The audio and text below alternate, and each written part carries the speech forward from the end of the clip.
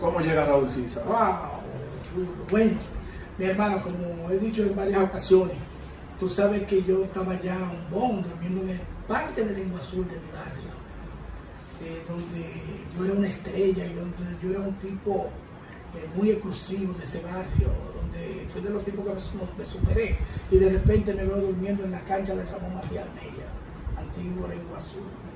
Eh, ahí es que Purita se me acerca y me lleva una orientación respecto a un muchacho que se llama Héctor en el barrio, que es reeducado de hogar creado dominicano. Purita me dice, pero Raúl, no, hombre, tú no eres ese tipo, Raúl. Tú no, tú te enteras todavía, porque tú no estás loco. Tú lo que estás agarrado en el vicio. Mire, ahí hay un centro de rehabilitación donde estaba Héctor. Yo le dije, pero eso es de los cacos pelados. Mm. Me dice, no. Que andan en Bermuda. ¿El caco pelado de qué? No, no, no. Me dice, Purita, ¿qué de qué? Eso es un centro de rehabilitación. Yo bajo ahí. Y ahí uno se sana, Purita. Sí, vamos para allá. Yo tengo la dirección aquí. Eh, entonces yo le digo, bueno, pues llama a mami para que le diga que voy a ir contigo para allá. Llamaron a mi mamá. Mi mamá de una vez el apoyo. eh, que resuelvan de una vez que yo voy a mandar dinero de moverse. Porque tú sabes que ¿Dónde estaba tu madre? Mami en Madrid, España. Eh, sabes que uno crea eh, desinteresadamente, que ayuda a uno. Bueno, mi hermano, cuando yo me vi con Purita en, en- en la par de Millini 505, que, que ahí te hacen un reto, un reeducado, a un nivel quinto. Eh, te dice, te da la bienvenida, ay, qué bienvenida. Yo me enamoré de eso. Tú sabes que a uno lo desprecia la gente cuando uno tiene servicio. Claro. Y le da maltrato y le da rechazo. Ay, ay, no, bienvenido. Está en su casa. Y- ¿Tú sentiste que volviste a la vida? Ay, yo no, yo sentí que Dios me había devuelto toda la vida. Cuando yo fui a esa institución, o sea, ese, ese cariño, ese respeto a una persona que llegó ahí, yo me sentí que me respetaban. Siéntese por aquí, le quiero un poquito de agua. Eh, dime, ¿Y hermano. dónde fue que yo llegué? ¿Y dónde fue así mismo? Porque en la calle nadie me daba estas ¿y dónde, atenciones aquí. ¿Y dónde? Eh, ¿qué, es lo que quiere? Dígame. Entonces ahí me tiran una foto, me hacen una entrevista. Y me dice, vamos a mandarlo para Alma Rosa. Yo le dije, no, no me mande para Alma Rosa, porque a la que yo quiero ir por un campo. Porque quiero salirme de todo esto, dejar el sector. Y me mandan para Higüey. Ay, cuando yo llego a Higüey, ay muchacho el director Nicandro Moya, ya sabe que yo voy para allá. Eh, tú sabes, regado está ahí, para acá viene el morenito de Jerry, el bailarín, el bailarín número uno. Y cuando yo llego, lo primero que hace el director, ah, ah, ay, ay, ay, y baila como yo digo, ay, mamá. Llegué donde Ay, Esos amigos míos todos. Claro, llegué donde Llegué a donde lo que me recibe, me recibe con una sonrisa, un abrazo. Yo todo desfigurado, el pelo por aquí, pero ese pelo maltratado. Y me dice, bienvenido, mi hermano, me hacen una fila. Y yo veo que todo el mundo me aplaude. Digo, yo, ya, me hacía falta mi aplauso. Digo, por aquí me aplauden ahora. Yo, y veo esa cosa tan chula y ese recibimiento tan ameno. Eh, eh, venga, compañero, tiene chancleta eh, para que se bañe porque uno tiene que hacer un aseo de una vez de que llega. Sí. Eh, eh, me meten, pa, Ángelo Lagar, un muchacho que estaba allá, que me recibió, César Richardson, hoy director, me reciben y, y- y- y me acogen para enseñarme lo que es el movimiento Galcrea, el cual yo me enamoré 100%. Pero el primer día en Hogar Crea, ¿cómo fue? Ay, el primer día. Porque supongo que la noche anterior algo tú habías consumido, Sí, no, no, no. días anteriores. decirte, el primer día para mí fue inolvidable porque que yo tengo una cama grandota ahí. Yo estoy en un cuarto que tiene aire acondicionado. Yo dormí en la cancha. Y yo estoy que eso es. Yo llegué en maratón, que tú sabes que maratón hace dos comidas. Y me levantan a las 12 a comerme un sancocho con mucha carne y mucho Como a las 12. O sea, el maratón son terapias extendidas que se celebran aquí los fines de mes. El maratón terapéutico. ya. Sí, eso tiene un mensaje. Entonces, eh, eh, yo veo todo esto y digo, concho, comida, y tú sabes que uno llega con todo el hambre del mundo. Sí. Y me levanto a las 12, y me levanto a las 3, y me dan más sancocho a las 3, porque era hasta las 4 la terapia. Y a las 4 me levanto, y vamos más sancocho. Y dormimos hasta el otro día, hasta las 11 de la mañana. ¡Wow! Me levanto. Me un dice, a un baño, y una vez para el baño. Y, me- y- y el pelo mío, sabes que ahora no le recortan el pelo. Y me, me dice el director, yo le digo, a mí no me van a pelar con usted, ¿no? me dice, no, no, no, no, no, no, no, olvídese de eso, no, no, no, no, no, no lo van a pelar. Y después el director, cuando, cuando yo me siente y me da con todo, indicando mollo, me dice, no, Claro, tú no puedes hacer la excepción aquí, la regla. no, mira, esto no camina así, yo sé que esto es un tipo inteligente. Me dio una controla vagarita y le dije, mire, póngame igual que usted, cago como usted quiera. Claro. Me pelaron bajito, pero no me pelaron como ellos, sino me pelaron, me dieron un corte para que yo no me Para ir, devalúe. ¿no? Etapa, un etapa. trato, mire, un trato muy delicado, es que lo que yo le digo, lo que nosotros hacemos aquí, es tratar. Fue por etapa que es te como un príncipe, un príncipe, eso tiene la crea es como un príncipe que te trata. Es como un príncipe que tú dices, concho, que el que no se enamore porque un charlatán y un sinvergüenza. Yo siempre lo he dicho. Pero no todo el mundo tiene la capacidad. Entonces yo fui ahí, desde, desde el primer día, mi hermano, yo me enamoré del programa hasta el día de hoy. Hasta el día de hoy. Yo de 27 años. Cuando me refería al primer día de Hogar Crea, me refería a que no pudiste consumir, pues ya te entraste de la Ah, no, no, espérate. Eh, eh, ¿Cómo eh, lograste no te había dicho cómo este dato, no te había dicho este dato. Yo entré con una puñalada en una cría. Mírala ahí. Yo entré con esto infectado porque yo, eh, yo cogí esta, a mí me dieron una puñalada para atracarme, para quitarme dos piedras de aquel lado. Sí. Entonces esto, me, me recetaron una tetánica y yo esa receta la cogí para consumir. Donde quiera que yo, si yo te veo, te, te decía, "Loli, mira, es para una receta que mira esta puñalada, ¿tú me lo ibas a dar? Claro. Me lo dieron como 800 veces eso fue. Y esta vaina- era para tú comprar. Esto me tuvo al coger cangrena, esta puñalada. Y, y esta, eh, eh, eh, eh, la infección fue cuando llegó Galcrea, que la cojo. Pero más Galcrea, desde que me ven la cosa como que estaba poniendo negra, me llevan a la clínica. A una clínica, no a un hospital. Me llevaron a una clínica. Y era un punto negro que estaba allá adentro. Cuando me sacan al punto, salió toda la pura. De ahí para adelante eso cesaron. Ese, ese mismo día ya yo estaba que me hacía lo veo. Me salvaron porque yo me iba a morir en la calle si yo me quedaba con eso. Claro. Entonces, esas son parte de las cosas. ¿Qué pasa? Eh, eh, al yo ver todo ese amor, todo ese, todo esa- ese compañerismo, esa formación, esa educación y las terapias, me enamoré de una cría hasta el día de hoy y conozco a don Julio una vez que hice una visita allá a una Way era parte de mi sueño, yo estaba en el programa, porque yo siempre he sido una persona abierta.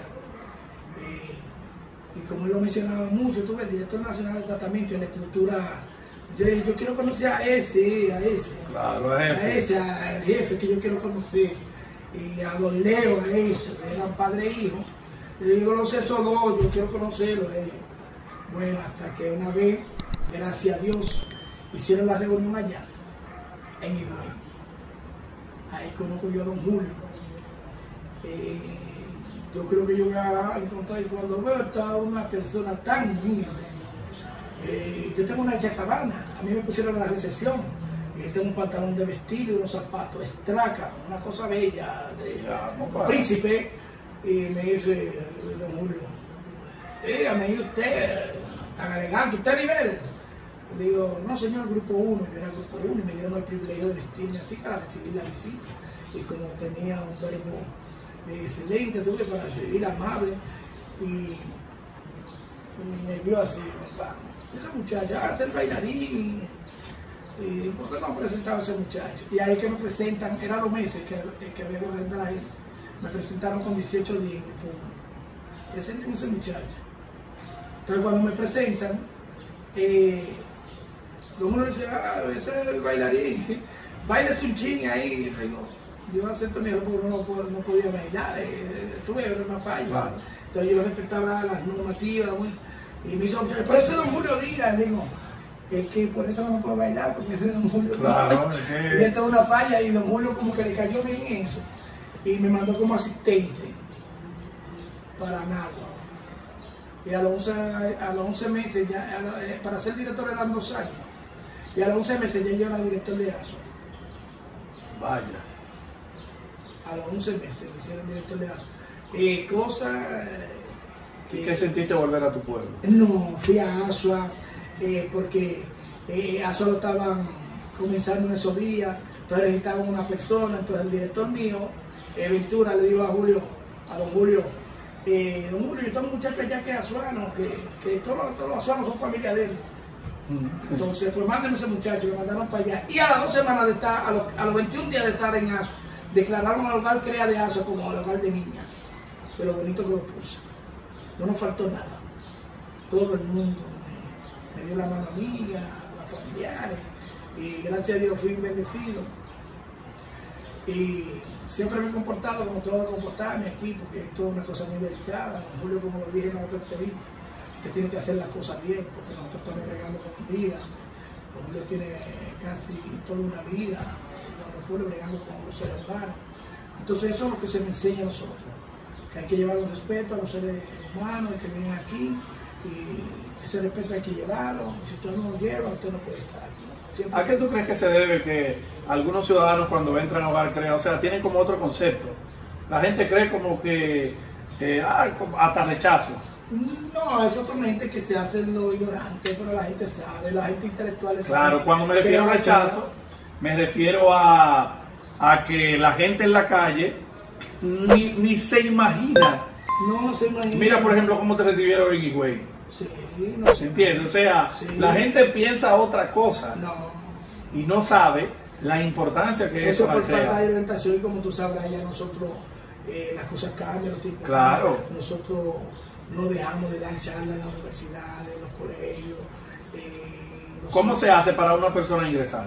Eh, bueno, eh, tú nada más tienes que tener el problema de adicción, ir a la oficina central, a la Padre Villene 505, ahí inmediatamente, ahora como estamos en Sí. tiempo de pandemia, te exigen eh, el PCR, que es el COVID-19, porque tú sabes cómo sabrás que ninguno Sí, claro. COVID, eh, porque estamos alejados de todo. Nosotros no salimos de aquí, para nada. Entonces, eh, esto es un cuidado muy especial. Esto es un cuidado muy delicado. Siempre está arriba de eso. Los supervisores, Yo veo en Hogar los algunos con- siempre están arriba de eso y nosotros los directores nos dejamos llevar de esas cosas, de esa exigencia. Lo del casco, eh, el pelo corto, las No, ya eso, no, ya, ¿qué no, ya eso? eso no se llama, el pelo corto ya eso no, ya eso pasó. ¿A qué se debe? O sea, No, eso era se un- sentía la gente No, no, eso era un corte que se daba antes, eh, pero ya no lo hacen, ya no lo, ya no lo dan. Y ahora cuando el nuevo entra, ¿qué pasa? Los, los pantalones cortos tienen un significado. Eh, tú sabes que cuando uno cae la adicción, uno retrocede Sí. y se convierte en niño.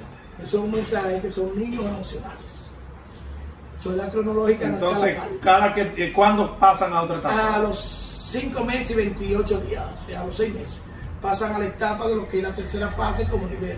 Nivel 1 encargado, que es a donde eh, se evalúa ante una junta evaluadora y de acuerdo a la capacitación del muchacho y a lo preparado que está, producto a la dirección del director que tenga, los niveles encargados, pasa lo que es la tercera fase, nivel 1, que ya se, se encarga a nivel encargado del problema de él y el de los demás, como directivo. Excelente. Una cosa bella. ¿Cómo cambió Hogar Crea tu vida? Bueno, mira, ay, esa pregunta me chulo. ¿Cómo Eh, mira, Hogar Crea me cambió tanto, oye, ¿por qué? Porque cuando yo me meto en el vicio, yo no, ni, ni en mi mamá, ni en nadie, yo no me importaba nadie, nadie. Pero he dado un cambio que, que yo mismo me siento sorprendido a mí. Para mí nada es nada. Allá O sea, tú llegaste a Hogar Crea, eh, vamos a suponer, vamos a, a retroceder, llegaste a Higüey, después de cuántos días es que tú dices, pero ven acá, ¿y dónde yo estaba perdido? O sea, de yo, yo tengo mi mamá, yo tengo mis hijos y yo como que había soltado a esta gente. No, yo, yo tenía un niño recién nacido, Junior era recién nacido. O sea, después de qué tiempo que tú como que empiezas entre razón, Sí, no, después de los cuatro meses. es que tú como que aterrizas. Eh, eh, sí, no, yo aterricé, aterricé. Eh, tú sabes que tú vas recobrando tu dignidad y tu respeto en este programa. Ya. Eh, ya que tú lo pierdes afuera, pierdes la dignidad, el respeto como persona, eh, los valores, eh, la integridad del ser humano. Y tú lo pierdes allá afuera producto a lo que tú te estás desenvolviendo. Pero cuando tú entras aquí, que es con normas y pautas, todo. Y Ya. todo tú tienes que hacerlo bien, empezando por la higiene, empezando por el amor al prójimo, eh, quererte a ti mismo como a los demás, eh, tú pensar en tus seres queridos. eh, eso me ayudó mucho, yo tener ese niño aquí, yo tener ese bebé, Fray, a Junior, eh, y muñeca, mi esposa, la cual amo, tenemos 27 años, muñeca y yo, la cual amo con toda mi alma. Beso para ti, mi amorzote. Ve aquí tu negro bello. Entonces, yo amo a muñeca, porque muñeca siempre, Pero ¿y te conoció en el vicio, muñeca? eh, por supuesto, muñeca fue parte de mi proceso. De mi proceso. Me imagino Muñeca que te vivía aconsejando y tú No, creyendo que te la estaba no, comiendo. No, muñeca, me dijo, no, si usted sigue ahí, yo lo voy a votar. Toda muñeca me votó. Pero ella saber que yo eh, quería cambiar, ella me apoyó. Ella fue me llevó el niño. Me dijo, yo, si tú te quedas aquí, yo te apoyo. Pero si tú sales de aquí conmigo, no. Yo le dije, no se apure, que yo no voy a salir de aquí. Yo le prometo eso y yo me voy a quedar aquí porque eh, espérenme, espérenme, no me, no me, no me abandone, yo le dije a ella. No me abandone, eh, déme esa oportunidad, porque usted es parte de mi vida y yo sé que usted es una buena mujer. Y yo no voy a ser un hombre. Hoy en día mi esposa disfruta de una familia hermosa, cuatro bebés que tenemos, hermosísimos, todos profesionales. Todos profesionales. Eso está bien. Eh, y a mi- quien envió un saludo mi, a todos. Mi hijo menor, Frangel, va para la universidad con 18 añitos ahora. Eh, ese niño es bilingüe, todos son bilingües, están trabajando aparte de ellos dos. Ya ellos tienen sus carritos que se mueven, tú ves. Ahí está. Y, y eso, vuelvo y te digo, hay que agradecérselo de forma u otra a Hogar Crea. No, Hogar Crea mi vida, creo en papá. No es que yo no. Claro. No es que Hogar Crea fue que hizo todo eso, papá. Yo. Todo lo mío es de Crea, papá. Es que yo no tengo nada. Es que Dios. eh, mira, esa familia se formó en Hogar Crea. Porque por falta de mi formación, no doy mal ejemplo. Yo no amanezco en la calle. Yo no yo no hago de nada. Yo no hago de nada mal hecho. Entonces, una formación limpia. Cuando logran salir de Hogar Crea, digo ya no como eras un interno, pero digo ya cuando uno sale como el tiempo que uno sale por primera vez, que tú sales como a visitar, ¿no? Sí. ¿Cómo te sentiste? Ay, no. Que tu gente te No, volvió no, a ver y ya no era el que dormía en la casa. No, la gente eh, me preguntaba, ¿vienes en Nueva York que tú estabas, Raúl? Claro, porque como uno vive, uno sale más blanquito. No, por orgulloso, yo en Nueva York comiendo eh, por ahí, por el libro, y la disciplina, y, y más la humildad, tú la dejas ver más, tú ves. Entonces, cuando tú ves un, un amigo, cualquiera que está anda por esos caminos, tú te pones sensible y, y lo abordas. Y ya en el barrio, eh, eh, la gente tenía esperanza en mí. ¿Ustedes vieron a Raúl? ¿Cómo cambió? Así yo quiero que tú cambies, mi hija. Me llamaba. Tú eras entonces referente. No, señor Raúl, señor Raúl, ¿cómo es que tenemos que.? Porque yo he internado más de 40 personas de mi barrio. Pues ya no era Héctor, ahora era Raúl. No, señor Raúl. No, porque Héctor era el referente. Cuando te dijeron, mira, tú tienes que ir como está. Ah, no, no, ya, esto Ya, no ahora tú. Ya, es Raúl. Ya eres tú ahora. Es Raúl, ya, ya, es Raúl. Entonces, como te digo, eh, mi familia es creana 100%. Eh, mi niño eh, adoran a don Julio, a don Leopoldo, porque son muchachitos con unos buenos sentimientos, son Gracias tipos está- intelectuales, son tipos inteligentes y que siempre me aconsejan, papi, crea lo que hay. A mí, papi, crea lo que hay. Eh, no en eso, pórtese bien, no queremos bajar la Yo- cabeza. Yo quería interrumpirte porque cuando hablabas de tus hijos, eh, me dice que tienes cuatro ahora. Eh, aquí. Aquí, o sea, tienes cuatro después de tu Tengo tres- reeducación. Sí, tengo eh, cuatro aquí, tú sabes, Carolina, Sí. Carola, que es la más grande, Sí. en la cual le llevo, mando un saludo a mi preciosa muchacha, que es traviesita conmigo, pero ella le dice todo eso, porque a mí es mi primera bebé. Y a mis hijos que están aquí conmigo en mi casa son, Son cuatro. Entonces, Entonces hay una parte que no hablamos, porque está bien, en Estados Unidos caíste en el vicio y esto, pero tú tenías alguna pareja con quien hiciste algún hijo o algo, ¿no dejaste hijo ya? Allá, por supuesto. De te lo te mencioné. cuántos hijos. Te lo mencioné Vicky Cisa y Jenny Toya Cisa, mis dos. Dos. Concho, qué pregunta más importante. Eso es lo que te digo, porque Esa pregunta ¿cómo es- formaste primero? Eh, Quiero saber esa familia. Eh, ¿Cómo- Jenny, cómo- yo me caso con Jenny. ¿No estabas en vicio? Eh, no, no, yo no, cuando me caso con Jenny yo no tengo vicio. Yo me quedo en Estados Unidos, hago una familia hermosa. Después que yo estoy en mi matrimonio, que nace mi niño, es que yo cojo el vicio de droga. Es después. La cual voy a aprovechar esta entrevista para cualquier abogado que me pueda ayudar. Yo no soy deportado por ningún por narcotráfico, por nada, sino por posesión de droga. Y que me puse de con el juez, la cual violó todo mi, tu derecho, mi derecho. Y yo no sabía, yo no entendía inglés cuando eso. I am speaking English perfect now. Ahora el inglés perfecto. Sí, tú me entiendes. Entonces, eh, los tiempos no eran iguales. Y al que pueda, porque yo necesito ver mis hijos, sea allá o aquí. Eh, voy a coger este medio para decirlo. Eh, ¿Qué yo puedo hacer para ir a ver a mis hijos? Porque yo no tengo ¿Qué edad tienen ahora ellos? El mío tiene 31 y la niña tiene 31 y el niño 29. ¿Y tienes ese tiempo sin verlo? Bueno, tengo 27 años. 27 años sin verlo. ¿Y qué ha pasado? ¿No han podido venir aquí o hubo una eh, división después de tu caída de los bichos? Oye, este, el bicho de la droga me afectó mucho en eso, pero eh, yo hablé con la madre, con ella yo he hablado. Inclusive mi hijo me dijo que no tiene que perdonarme nada porque yo soy un ser humano. Y él estuvo en la guerra de Irak. Entonces, hay muchas cosas que son mis hijos, son hijos de matrimonio. Todos. Todos. Carolina, todo lo de ahora y lo de Jenny. Todo, yo no tengo, gracias a Dios, no tengo en la calle. Eh, son hijos de matrimonio. Eh, Jenny y yo somos casados por la iglesia, la mamá de los solo míos.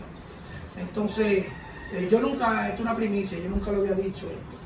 Y voy a seguir tocando puertas. La primera puerta que toque es la tuya, porque yo necesito que me ayuden. O yo a ir a Estados Unidos, o yo cubriendo mi gasto. Claro, okay, eh, yo cubriendo mi gasto. Sí, lo que yo, con, con, el visado humanitario, que yo sé que existe eso. Y además yo soy un embajador de CREA y me gustaría eh, ver mi muchacho, si se puede. ¿Qué sientes tú al tener tanto tiempo sin poder ver tus hijos? Ese vacío lo tengo. No lo que tú dejaste chiquito. Y me pone triste, me pone triste, pero salgo de abajo, tuve para no. Porque uno no hace nada con llorar, sino. Me pone sensible eso, pero yo sé, yo estoy agarrado y yo lo voy a ver. Yo voy a ver ¿Y le has hablado a tus otros hijos de ellos? Pues eso, de sus hermanos. yo amo a sus hermanos, yo lo amo. Mi niña tuvo de visita en Estados Unidos, la que se graduó de psicóloga ahora con 22 años. Estuvo y habló con ella ya, lo que pasa es que ella estaba en un campo trabajando, la otra niña estaba en Astor, la Toya. Pero quedaron que el próximo viaje que haga mi hija ya se van a ver. Y eso me hace bien, tú ves. Pero mis hijos tienen comunicación con ellos, ellos son bilingües también, ellos no hablan español, como son bilingües y se sienten identificados como hermanos. Mirando en perspectiva todo lo que te ha pasado, Tú eres un vivo ejemplo para los jóvenes de por qué no se debe caer en el vicio, en ningún tipo de vicio. Sí. o sea, aún tú lo recibas, eh, Hogar Crea lo reciba y le dé todas las atenciones. Hay métodos de que ellos no lleguen aquí. Y son sus actuaciones.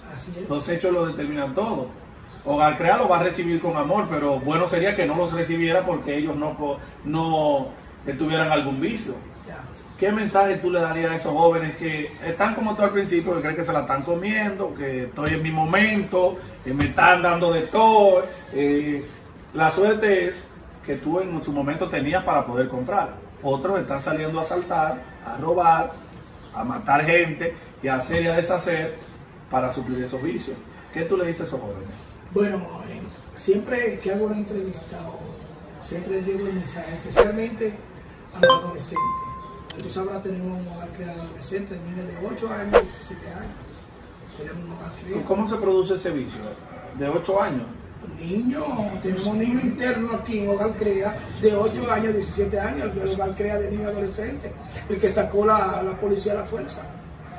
Eh, sí. sí. o sea, esos son de niños que han estado en la calle. Y sí, sí, sí, sí, mula, tú sabes, y que consumen. Pero gracias a Dios también están estudiando, es un centro especial. Entonces, ¿qué mensaje tú le das a esa gente? Bueno, eh, siempre he dicho, mi mensaje va especialmente para los adolescentes y para esos jóvenes que con una identidad fragmentada no se dan cuenta que se están haciendo daño. Lo primero es que se lleven de consejo. A veces su madre le da un consejo y ustedes le hacen caso omiso. Si yo me hubiese llevado de Albanilia a mis 13 años, yo hoy en día fuera Don Raúl. Pero no me llevé de mi mamá. Mi mamá me decía, a mí no me gusta eso de estar abriéndose hoyos en los oídos. A mí no me gusta eso de estar dejando de ir a la escuela. Y yo le hacía caso omiso hasta que vinieron las consecuencias. Pero lo principal de todo esto, ustedes tienen un lugar si se sienten con problemas. La comunicación entre sus padres o un ser querido que usted tenga al lado. Es lo más principal, la comunicación. Si usted está pasando por una situación emocional, cualquier tipo de situación que esté pasando, comuníquelo o busque ayuda. Hogar Crea Dominicano tiene la puerta abierta para ayudar a quien sea, no importa edad, no, importa estatus, no importa nada. Hogar Crea siempre estamos abiertos, Hogar Crea Dominicano somos de ustedes. Vengan hacia nosotros que los vamos a captar, como me captaron a mí hace 27 años, con los brazos abiertos. Ante todo, dígale no a la droga y sí a la vida y los estudios no lo dejen. ¿Ok? Allá, Gracias a ti, Víctor Raúl Sisa. Ya estuvimos conversando con él. Una historia de verdad que nos sorprende bastante. A los jóvenes lo mismo. Fíjense en el ejemplo de él. Todo eso pudo haberse evitado. El no llevarse de consejos, miren los resultados de eso. Ya escucharon en voz de él un hombre talentoso. Eh, la muestra está ahí, la historia está ahí, los videos están ahí, los hechos están ahí lo que ha impregnado él al merengue, a la historia, a la vida musical del merengue nuestro. Él es un referente histórico de eso. Gracias a ustedes, gracias a Raúl y nos vemos en otra entrega más. Y a Julio Díaz. Entonces, entonces, entonces, dame la C. Consistencia. Hogar crea, mueve. Montaña. blanda. Corazones. Ay, ay, ay.